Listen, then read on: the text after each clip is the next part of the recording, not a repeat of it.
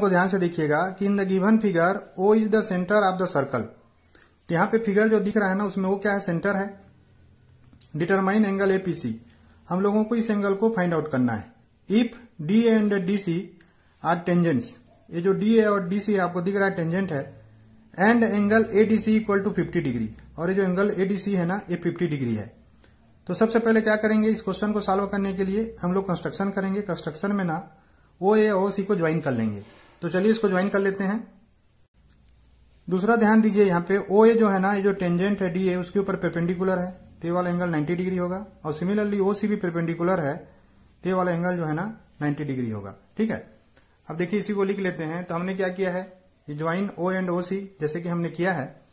Since D and D C are tangents from point D point D to the circle with centre O है ना?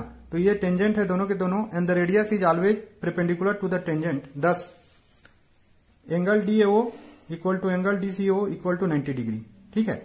ये समझ में आ गया आपको? अब यहाँ पे देखिए, ये दोनों एंगल हमको 90 90 मिल गया। ये वाला एंगल भी, यानी पूरा एंगल ये वाला, और ये वाला एंगल भी 90 डिग्री मिल गया। तो अगर हम लोग ये क्वारिलेटरल देखें ए ओ सी डी में तो एंगल सम प्रॉपर्टी यूज़ करेंगे तो क्या होगा? सबका सम जो है ना 360 डिग्री होगा। तो उसी को मैंने यहाँ पे लिखा है।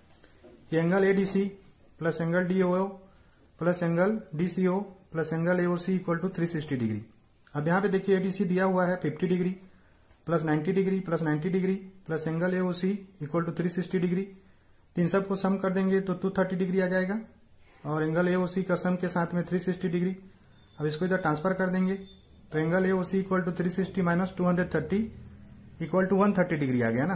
ठीक है? किसका वैल्यू वन थर्टी डिग्री आ गया? एंगल ए ओ का। तो देखिए, ये जो एंगल है ना, इसका दोगुना होगा ये वाला एंगल है ना? इसके रिफ्लेक्स का दोगुना होगा ये वाला एंगल ठीक है? क्यों?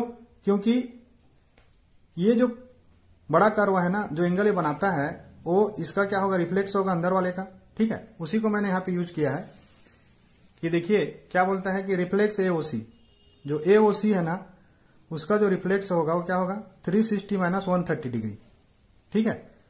तो ये हो जाएगा 230 डिग्री किसका? ये जो एंगल एओसी है ना, बड़ा वाला, ये वाला. ये कितना मिला हम लोगों को? 230 डिग्री मिल गया. क्योंकि ये रिफ्लेक्स है किसका? एओसी का, इस वाले एंगल का. अब देखिए, ये जो एओसी मिला है 230 डिग्री मिला है तो अब हमको क्या निकालना है इसमें?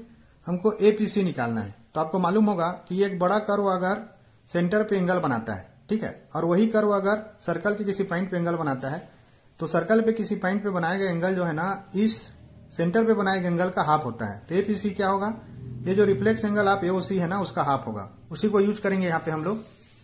तो देखिए, यहाँ पे मैंने लिखा है कि now angle A P C equal to half reflex A O C ठीक है? जो मैंने समझाया उसके हिसाब से।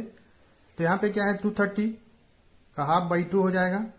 तो two hundred two two hundred two और टू फाइव जै टेन तो ये एंगल आ जाएगा वन हंड्रेड फिफ्टीन डिग्री। ठीक है?